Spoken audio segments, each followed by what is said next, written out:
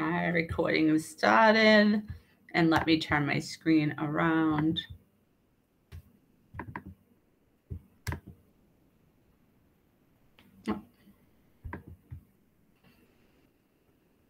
Okay.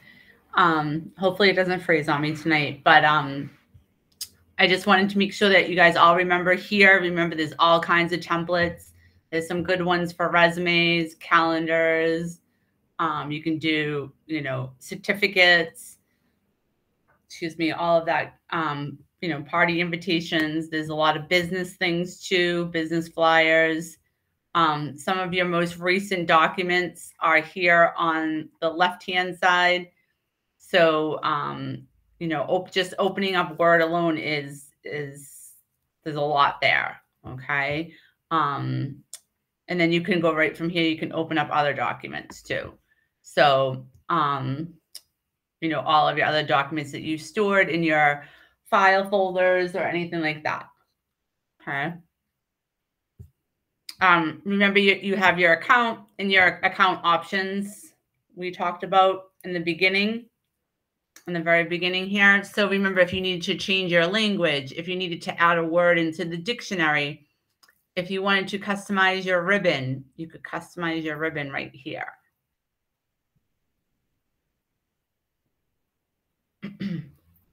okay. So, and what I mean by customize your ribbon is up top there with all of your like fonts and everything.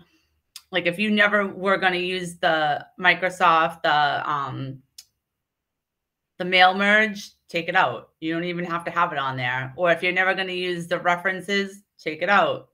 All that stuff. Anything that you know that you're never going to use, it's all right here. You can just remove them, uncheck them. Okay. Um, and like I said, your languages are here if you need to add another language. And if you need to uh, customize a dictionary or add a word in there, or however you need to get your dictionary to where you want to be, is right here.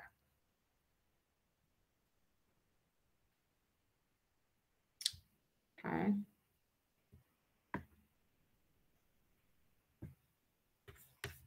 So I'm going to open up a new um, go in my folder. Um, let's see.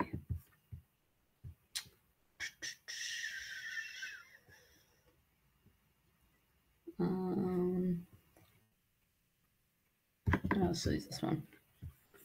Okay, so um, right here, we talked about the home key, copy, paste, um, anything that you need to do here, it's very simple.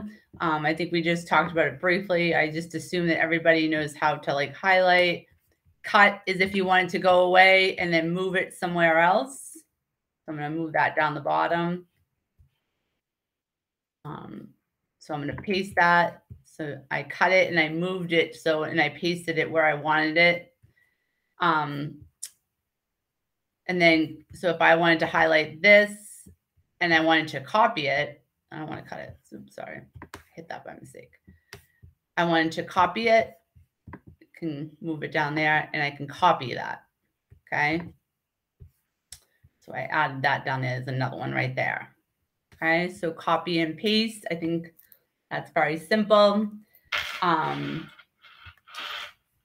and then moving over a little bit is your um, your fonts um, your um, text effects, so any outlines or anything like that, your strike throughs, your bold, italicize, um, your letter font, your like what you want for letters to be co different colors. So if this right here, you have that, okay? Um, let's see. Then we have your centering right here. So you can go to center, you can right center, okay? Um, or you could go back to normal. So again, it's centering. You can go all the way over, or you can go back to normal. Okay. Um, right here, Um, I don't know if I did go over this. So right here is your spacing. I think I did. So usually it's either at one or two. Not a heck of a lot do we use those in betweens or before. Okay. So if you wanted a double space, a lot of things are a double space, which is two. That's what you need to do. Okay. If you have some spaces there and you want to remove them like before the paragraph, you can remove them. You can also add some spacing. Okay, so if you wanted to add another, like another two spaces, you could add that. So that's what that is underneath there.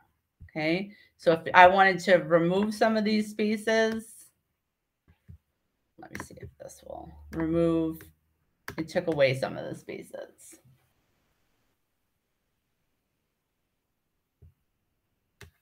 Okay, above that are your bullets.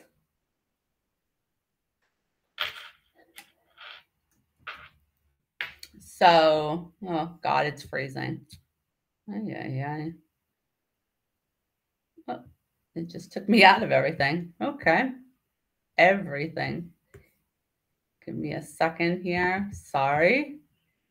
That was weird. Very weird. Let me see if I can get back into there.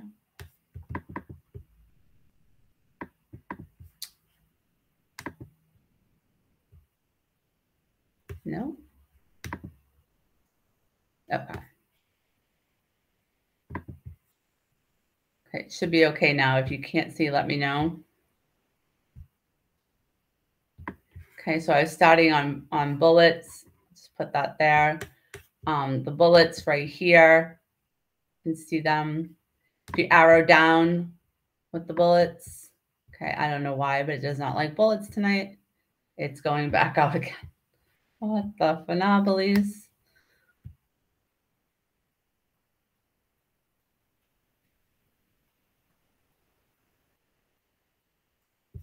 I don't know.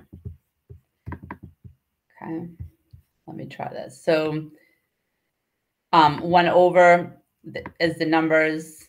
I don't know, it's not liking my arrow there. Okay.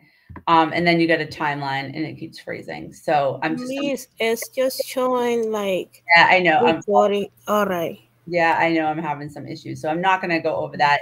But the right up top there, if you can see, it's not liking me. Um, hold on, let me get back there. Yeah, it keeps going out. So I don't know why it doesn't like that, but it's not liking it. So, but your bullets are up top there. So you can see those right up here. Okay. Um, the indenting, you can do that. See how it's moving right there. Let me go down one more. That doesn't seem to be a problem. So you can indent. You could go this way. Um, so if I wanted to go back that way, so whatever you, however you want to indent those, those are your indent buttons right next to the A and Z. So the A and Z is sorting right next to there. I tend not to use that a lot in Word. We use it a lot more in Excel.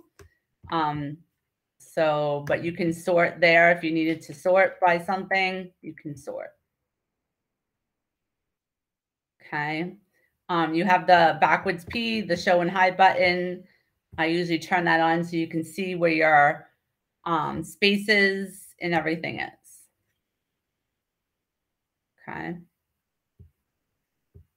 Um, remember your paint bucket, that changes the background of the um, page. It is not your fonts, it is the background. And then one more over is your borders. Okay. And remember, we talked a lot about the shading, the second one in. You can actually put a border around. Okay. So we talked about that a lot. That should have been done in like one of your projects. Okay. And then heading over a little bit more is just some of your, um, you always want to be on normal, um, some different headings, but I don't really get into a lot of those. Those are more advanced features you do in styles or anything like that. Okay. I'm not sure if I went over this or not, but the find and replace. So if I wanted to find all the um, words and um, say if I wanted to find all of um, uh, the, um, I'm going to put weeks. Okay. So if I wanted to find the word weeks in here, see how it, if I type it up right there, it comes up. Okay. So it comes up on the left-hand side. So again, it's find. So if I wanted to find all the words with weeks, there they are. And it comes up and you just keep hitting enter and it comes up and shows you. Okay. So if I wanted to find all those words and replace a word, so if I wanted to replace a word with weeks and do months, it says right there. So I put that replace with months and replace all. So I'm replacing three words and I'm going to hit yes. Okay. So you don't have to go through the whole document. You can just go to find and replace. We want to find, oh, I'm just typing edit, and then I'm going to do all the edits, replace all. So there's two words that have the word edit, and I'm going to replace it with months. Yes. So we made those corrections.